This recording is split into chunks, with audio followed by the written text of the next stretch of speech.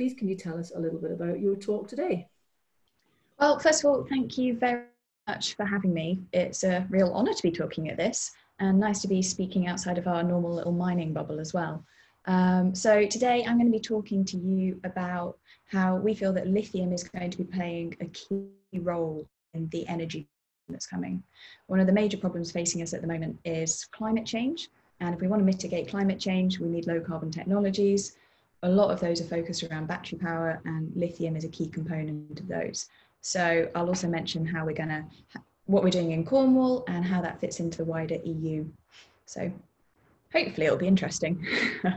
sure it will be. So uh, are you ready, Lucy, to kick off with your 20 I am. I'll just press go on my timer because I am prone to talking. So yes. Well, you start, your 20 minutes starts now. Thank you. Oh. Right. So, as Gillian kindly said, I'm a geologist at Cornish Lithium. I joined the company three years ago now, which has whizzed by. So, and I was the first geologist on the team then. So, we now have a team of 11 geoscientists based down in the southwest. So, it's built up quite quickly and it's quite an exciting opportunity. So, hopefully, I'll give you a sense of that in the next 20 minutes. You're very welcome to read this disclaimer afterwards, but it basically says don't invest in anything on the back of what I've said. Um, so I started to introduce Cornish Lithium. Um, kind of does what it says on the tin. We're focused on exploring for lithium down in Cornwall. And Cornwall's got this amazing heritage of tin and copper mining. But actually, in the past, it's also produced cobalt. There were two specific cobalt mines in Cornwall. There was gold, there's silver. It's produced a whole suite of metals. And in the last 20 or 30 years, since the tin price crash internationally in 1985, South Crofty hung on until 1998, I think it was. But really, there's been no true metal mining in the UK since then. And that's not because the region's run out of metal, run out of ore, rather, kind of trends moved, people moved away, and then it's kind of been a slightly forgotten about jurisdiction since then but by applying modern exploration techniques to it and also looking for a suite of metals that weren't necessarily of interest before, we think that there's really significant potential down here still. I'll then talk about why lithium, what we think the opportunity is around it, and then we'll look a little bit more into the tech of how lithium is currently extracted and from different parts of the world, then we'll zoom in and focus on what we're looking at in Cornwall at the moment. And I'll talk a little bit about the two drilling programs that we managed to complete two days before lockdown, um, which was good timing. And then finally, there's a lot of synergies between what we're doing and the potential for geothermal energy. So I'll touch on that as well. So I wanted to start with this slide and the phrase that if something hasn't been grown, then it's been mined. And I think it's quite a powerful statement, especially when you're trying to engage with people who are outside of our industries. Everything that we use in our daily lives has either been extracted from the ground or it's been grown. And we've been doing quite a lot of schools out. And it blows people's mind that two thirds of the elements from the periodic table can be in your smartphone. All of those are being sourced from different mines around the world with different processing techniques. These really are global supply chains.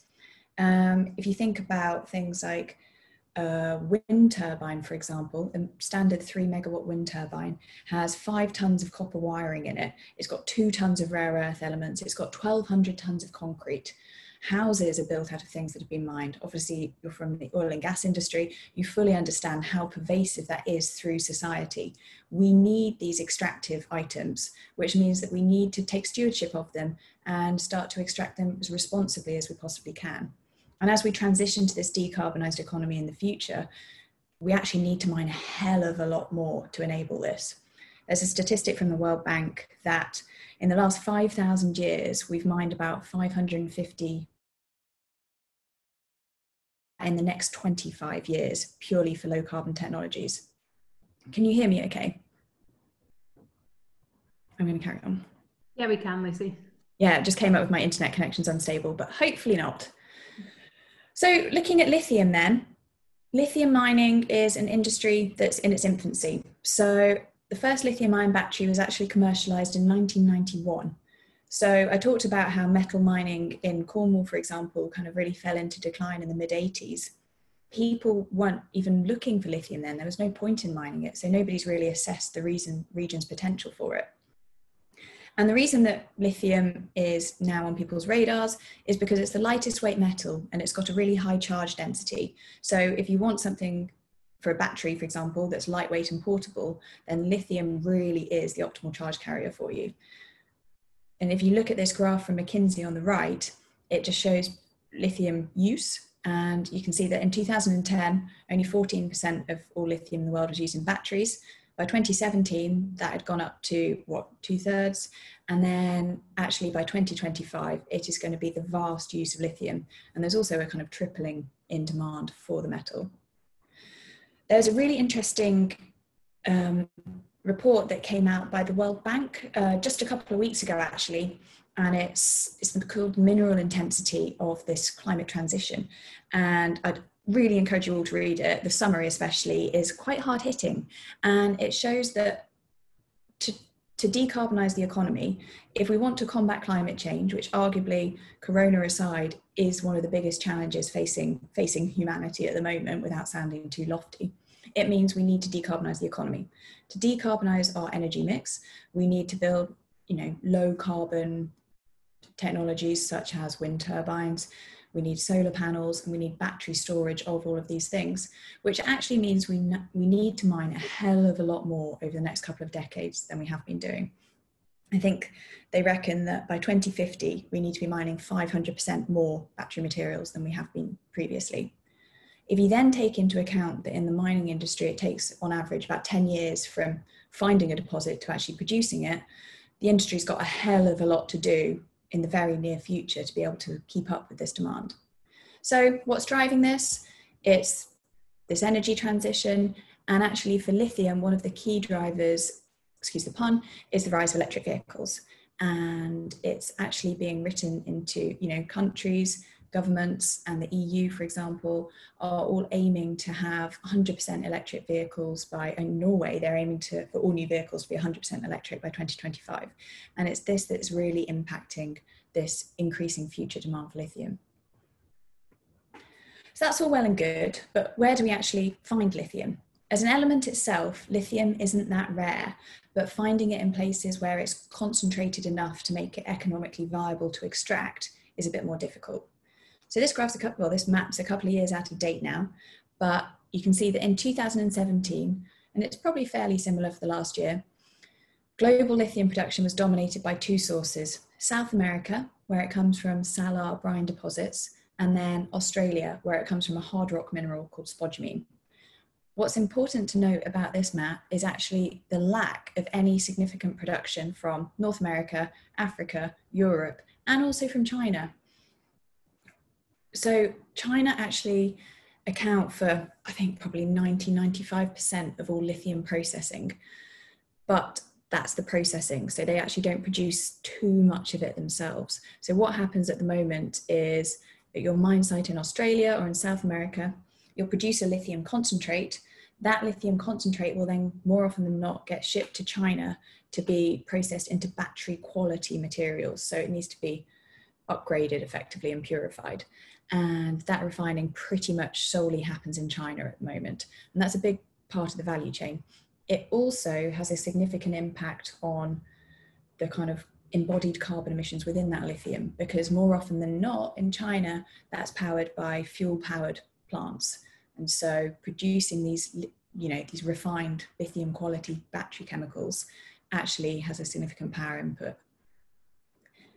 These might then be shipped to South Korea to be made into battery cells, shipped back to America to be put into a Tesla, then shipped back to Europe.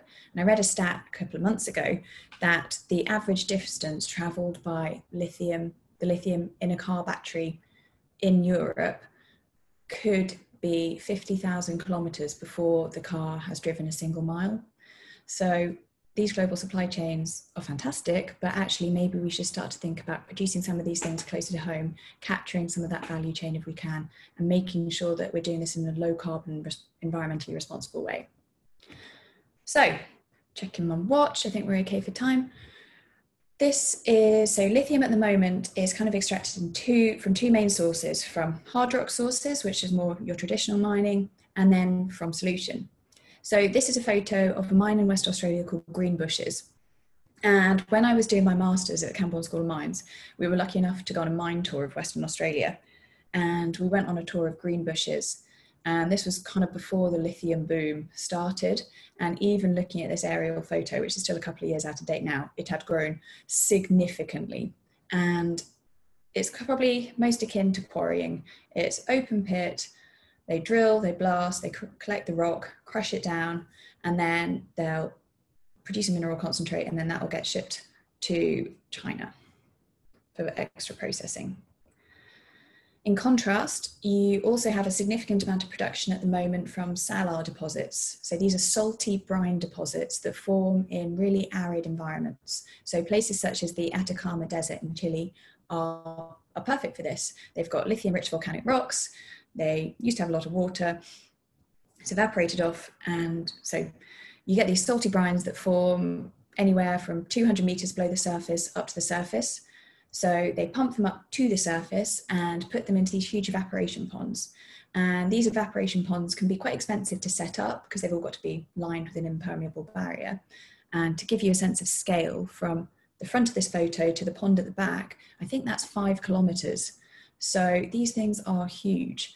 Um, so obviously they're fairly expensive to set up, but once they have been set up, you're just relying on solar evaporation. So water evaporates off, the solution gets saltier and saltier, your lithium gets more and more concentrated until after about 18 months or two years, you'll then have your mineral concentrate to then do a little bit of processing too before you ship off to China to be refined. And this has, you know, it has a lot of impacts associated with it in such water scarce areas, water sensitive areas, evaporating off, I think over 80% of the water gets lost to the you know gets lost to the atmosphere through evaporation. So it's a fairly significant impact and these are in really water water sensitive areas. On the flip side this would not be feasible in somewhere like Cornwall because although the weather's lovely at the moment it rains far too much here. So we're looking at technologies that can directly extract the lithium from solutions the other thing to note is that um, in South America, these salar brines are well known for having high magnesium contents, and magnesium behaves, you know, it's a, a similar to lithium. So actually separating the two out separately is quite difficult.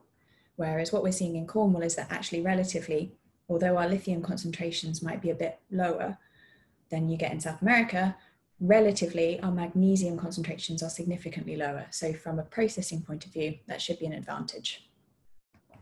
So I mentioned that we're looking at direct lithium extraction processing techniques. And that's because the main focus of our exploration here in Cornwall is looking for lithium contained within geothermal waters. And in the last few years, huge advances have been made in processing technologies. Because there's this increasing global demand for lithium, there's a desire to look for new deposits in different parts of the world. And actually, there's significant potential in geothermal waters, we think. And so this is just, uh, you can see at the bottom, there's a list of different companies who've developed different proprietary technologies. We're talking to a few of them and a few that actually aren't listed on here to see what might be suitable for the geothermal waters that we've got at the moment. But basically, we're still at such an early stage of exploration that we're not hanging our hats on any one particular technology at the moment. Oh, actually, before I move on, um, I mentioned that actually lithium in geothermal waters is looking like it's got a lot of potential now. And I wanted to say that in one of the one of the areas of the world that's doing a lot of research into this is the Salton Sea in California. And there was some research put out by the Californian Energy Commission last year, I think it was, where they and Berkshire Hathaway Energy have 10 enhanced geothermal system geothermal plants operating in the Salton Sea area. And they did a back of the envelope calculation whereby they estimate that the value of the lithium that's circulating in their geothermal plants is 10 times the value of the energy that those plants are going to produce over their lifetime. So they're looking at retrofitting lithium extraction technology to those energy plants, as I understand. That's all well and good. So, what are we looking at in Cornwall? Well, this is from uh, the US Geological Survey. They do a really good lithium brief that comes out every couple of years, and they map out prospective areas for lithium. And so the main source of lithium previously has been from these lithium, cesium, tantalum pegmatites. So these are the red squares that you can see. And this tends, tends to be the mineral spodumene. So you get an enriched granite and your pegmatite forms as it cools slowly and you get these big crystals of spodumene. That's not what we have in Cornwall. Rather in Cornwall, we've got one of these lithium enriched granites instead. So it's kind of the bulk of the granite is more enriched in lithium than your standard granite. And this granite that you have in Cornwall kind of is quite a big beast. It lies, it forms all the topographic highs in the area. So people know it from Dartmoor, Bodmin, all the way through to Land's End and actually the Isles of Scilly as well, are little granite outcrops. And although where you have these topographic highs is where it outcrops at the surface, the granite batholith actually lies underneath the entire county. That's all well and good. So we've got a lithium enriched granite, underlies the entire county of Cornwall, and it's hot. But what does that mean? So lithium was actually first identified in Cornwall within hot springs in 1864. So historically, Cornwall was mined significantly for copper and then for tin, and they used to have to dewater the mines. So the engine houses that you can see at the top left here were pumping away to dewater the mines. And some of that water was meteoric water, so it'd be rainwater that kind of fell on the surface and trickled down. But a significant portion of that water actually came from what they used to term hot springs. And these hot springs particularly used to plague deep mines. And effectively, they were driving a driving a tunnel across under underground. They'd hit a permeable geological feature, and hot water would upwell along that feature. And it's these hot springs, as they used to call them, uh, that are the geothermal water targets now. And a lot of work was done into them in the 19th century because actually these hot springs could be 45, 50 degrees C at 500 meters beneath the surface. And if it's 100% humidity, it made working conditions absolutely unbearable. And at some of the deep mines and in central Cornwall, central Cornwall, where some of these hottest springs were, you know, people used to work just 15 minutes at the face of the mine and that was it before they had to go up. Anyway, so in 1864, Professor Miller of King's College in London decided to do some geochemistry on these hot springs from these deep mines. And he took samples from Wheal Clifford, so United Mines in central Cornwall. They had a hot spring on what's called the hot lode, imaginatively, because it was really hot to work there because of all the upwelling hot water. He took some samples, tested it, and found that it was significantly enriched in lithium. And he wrote a paper which basically said this could be a potential source of lithium if only we had a use for it. So fast forward 150 years, and here we are. Just as a little bit of detail, this is from that top left part of the map there.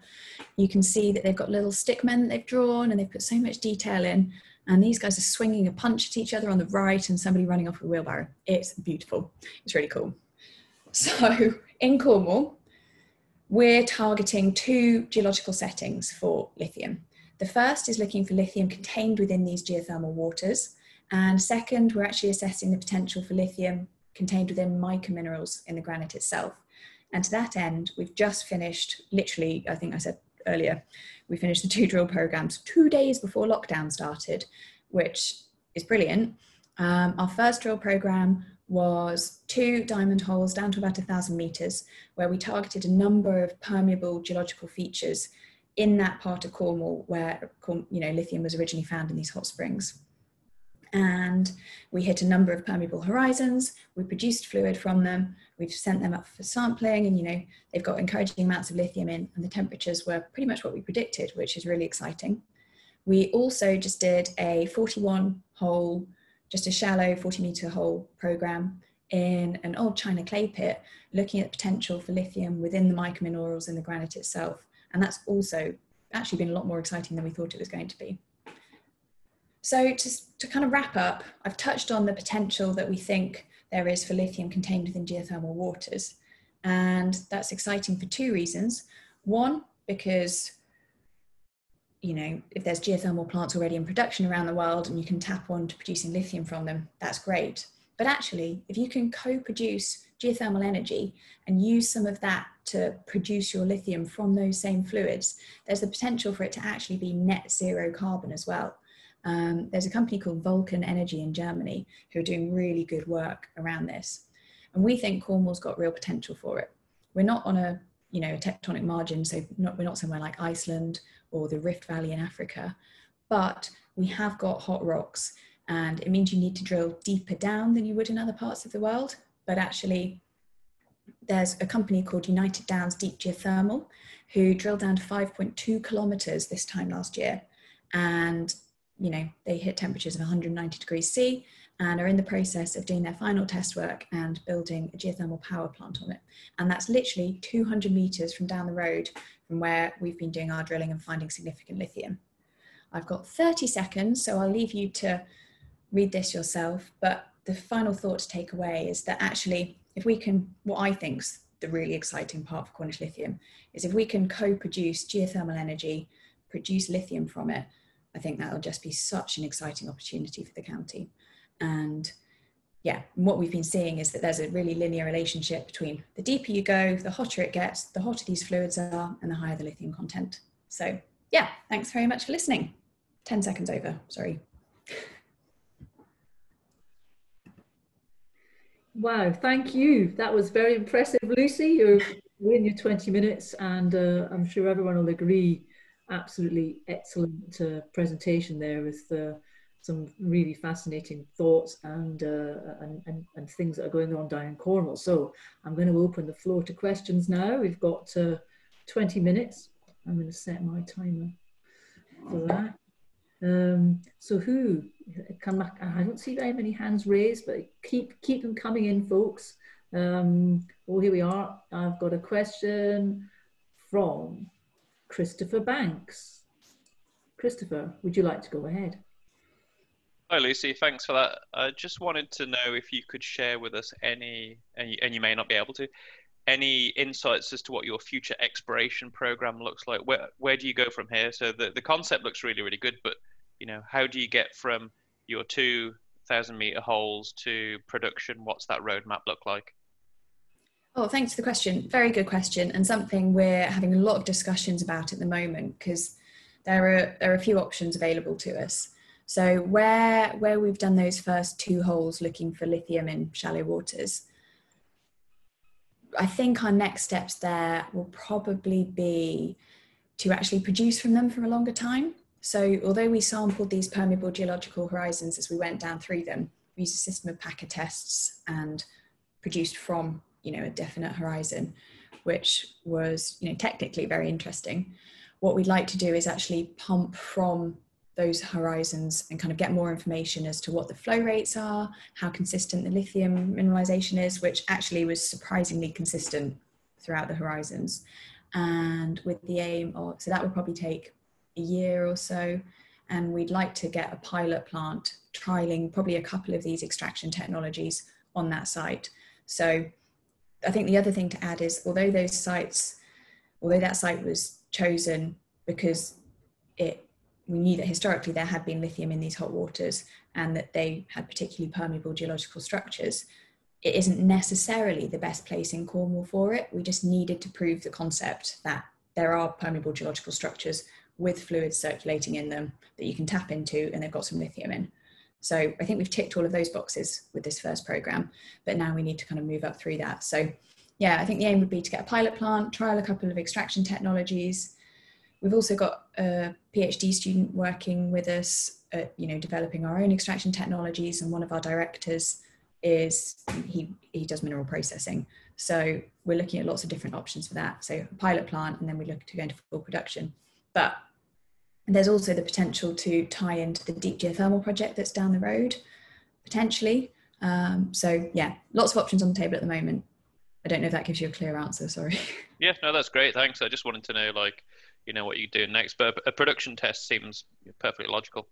Yeah, and um, and in parallel to that, I mean, our kind of prospectivity mapping and coming up with targets for future drilling sites is ongoing. So we've got other sites on the shortlist now that we want to drill at as well. So.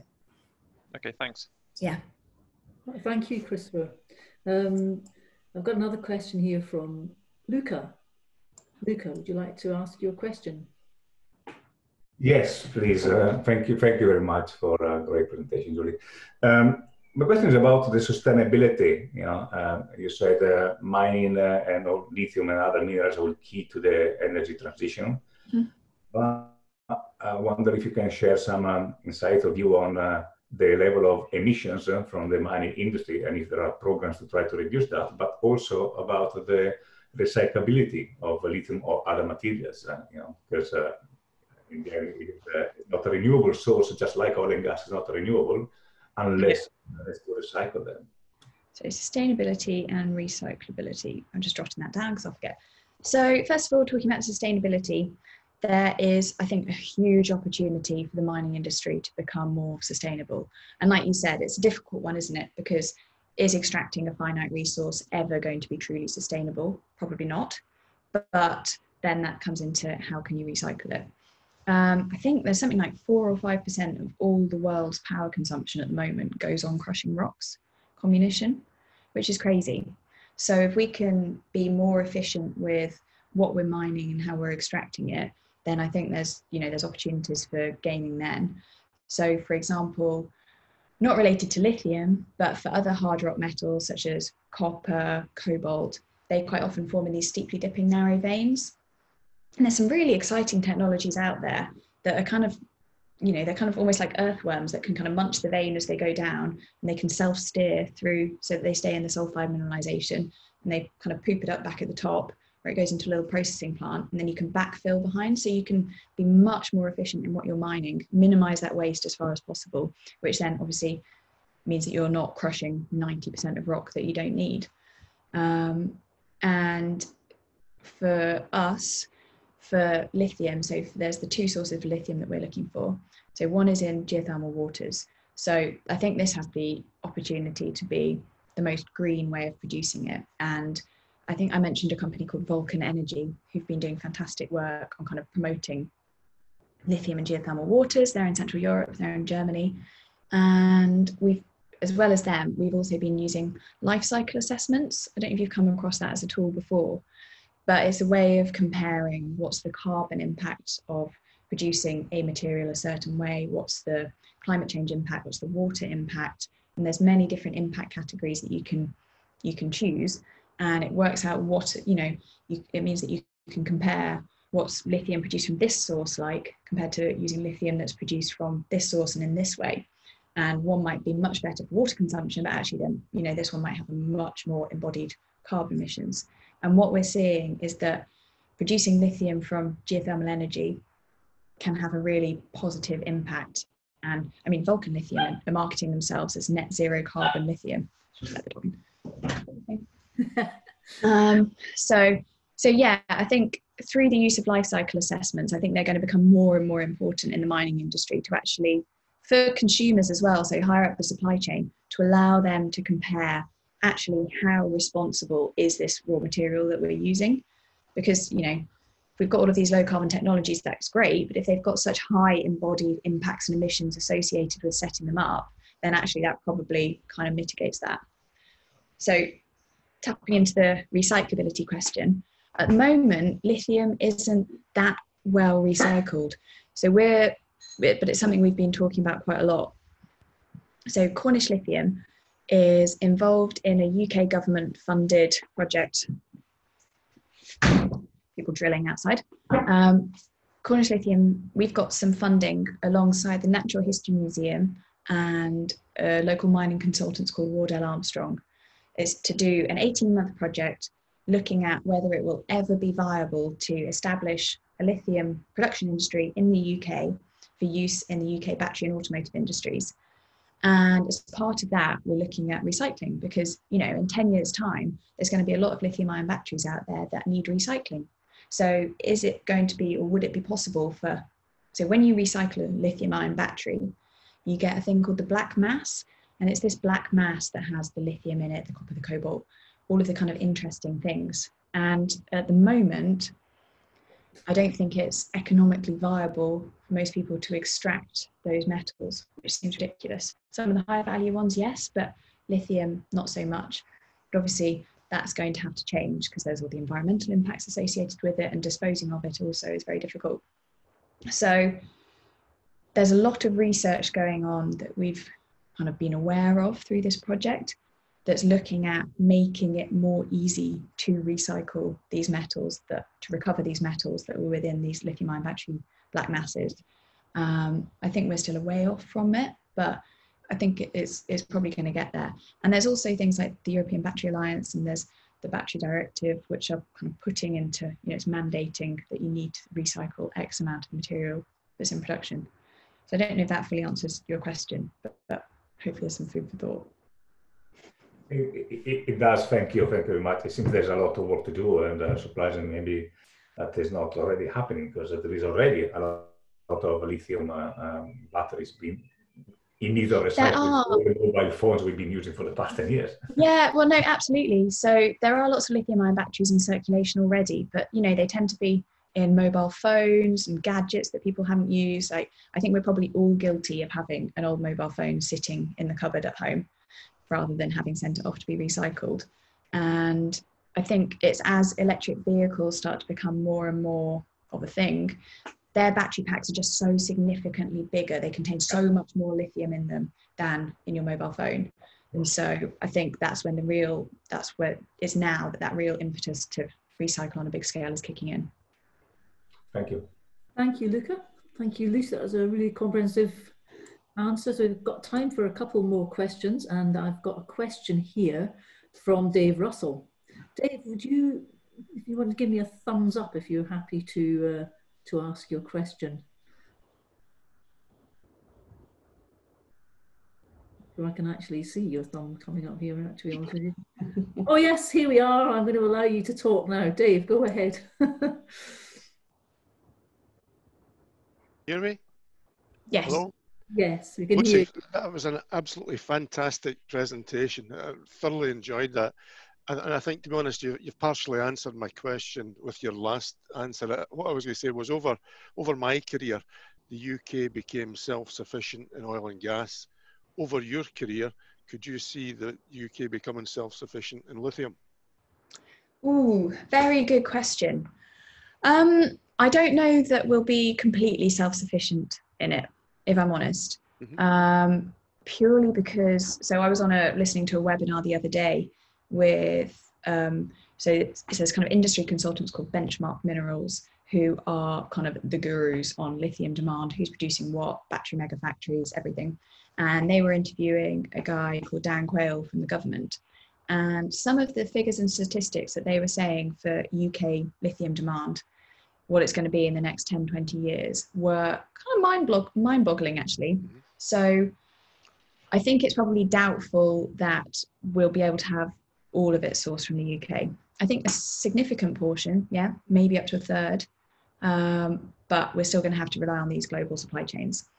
But I think what we're seeing anyway is, especially in light of the corona crisis, there seems to be an increasing desire from government to start to see if we can source some of these critical raw materials ourselves because at the moment there's such a huge reliance on China um, that I think government's getting slightly nervous at that. And even if you look at the battery mega factories that are being built in Europe, the vast majority of them, even though they're being built in Europe, are actually owned by Chinese companies. So, yeah, there's a kind of interesting balance going on at the moment. Good, thanks. Great, thank you. Thanks, Dave. Thanks for your question. I was thinking on, along a similar line, and I've got um, another question here actually um, from Vinny uh, who's uh, who's from the OGTC as well. And actually, I know Vinny's in he's in India. Let's see if I can put him put him on the line. it's very international. It is very international. Here we are. Vinny, I'm going to unmute you.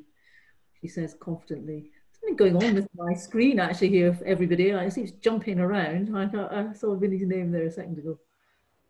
Anyway, maybe I have to read this question out because I'm, I'm I'm struggling to get the. Oh, here we are. Here we are. Here we are. Vinny, right. Vinny, please go ahead. Yeah, uh, can you hear me? Yeah. Yes, sorry, that was a kerfuffle. no, uh, thank you, Lucy. I think it was a fantastic presentation and quite enjoyed it. And what was striking was your sentence. What uh, if it's if it doesn't uh, if it's not grown, it's mined. I think uh, that was really striking. Uh, but my question is on on the overall mining industry, and clearly we know that the mining industry faces a reputational crisis and is seen as one that takes more than it gives.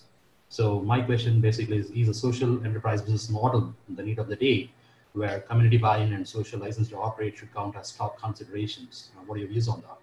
Sorry, I think I missed a couple of crucial words in that. Oh, okay. My question basically is, is a social enterprise business model the need of the day where community buy-in and social license to operate should count as top considerations for the mining industry? Ooh, that is a very interesting question.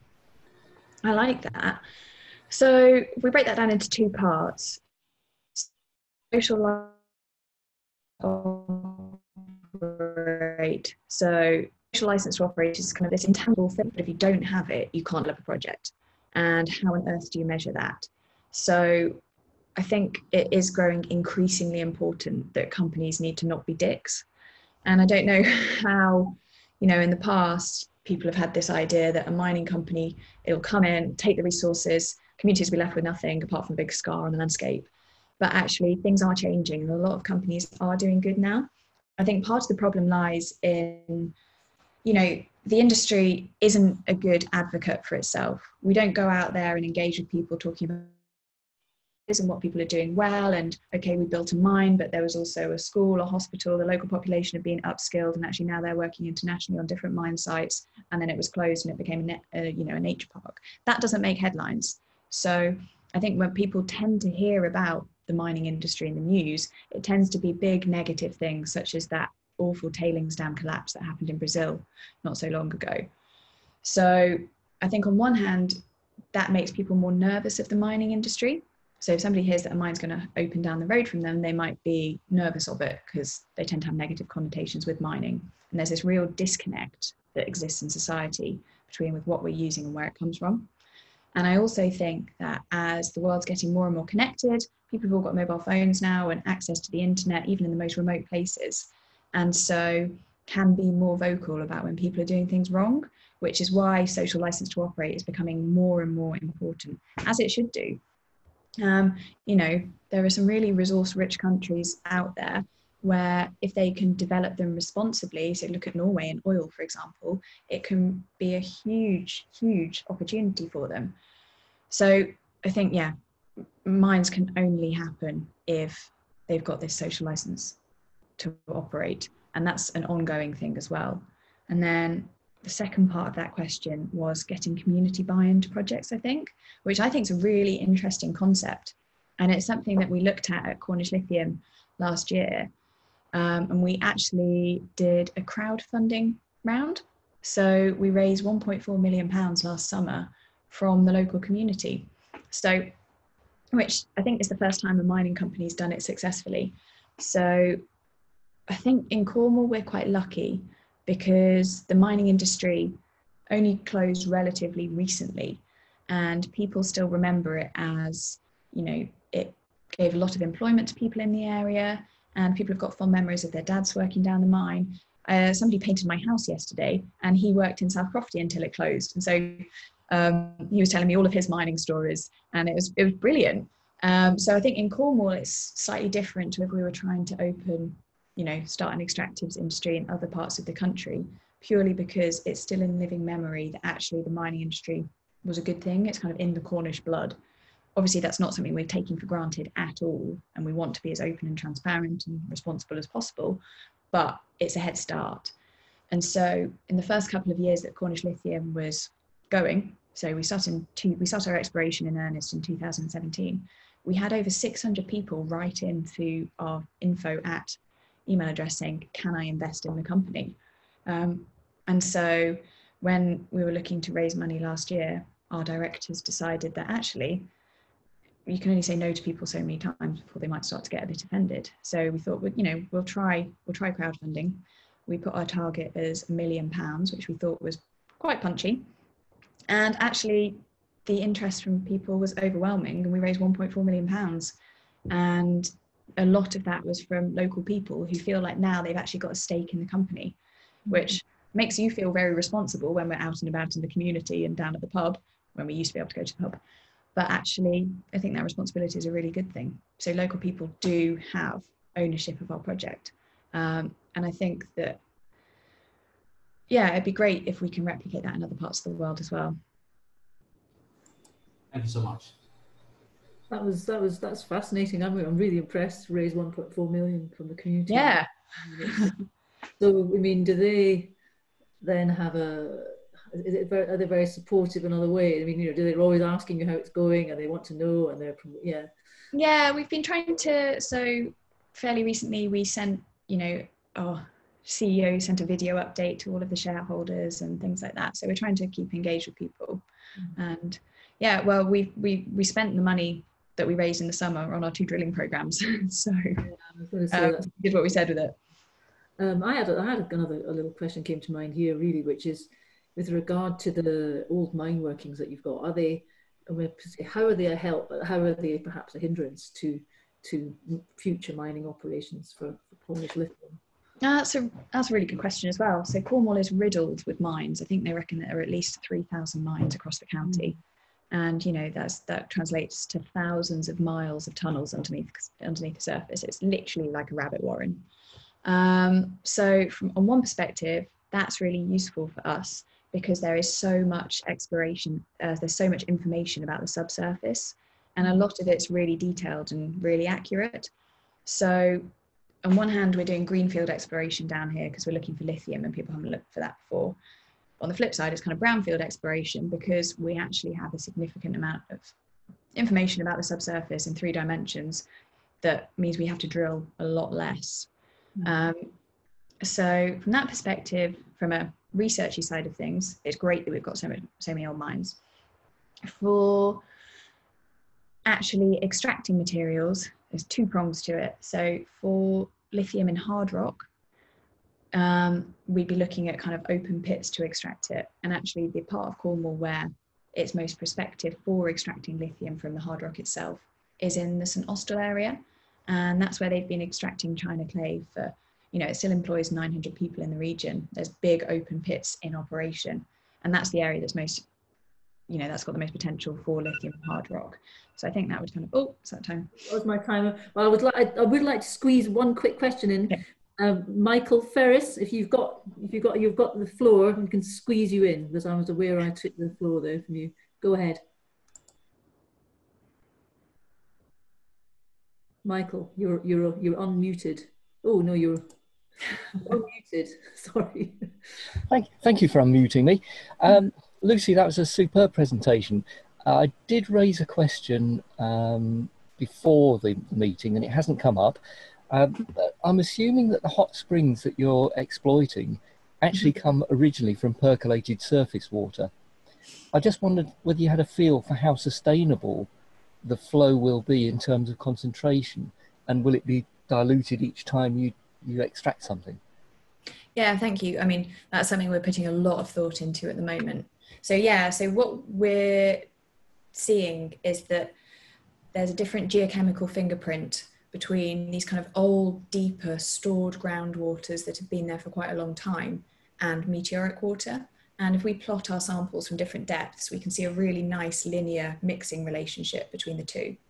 Um, so that's, that's the kind of first point.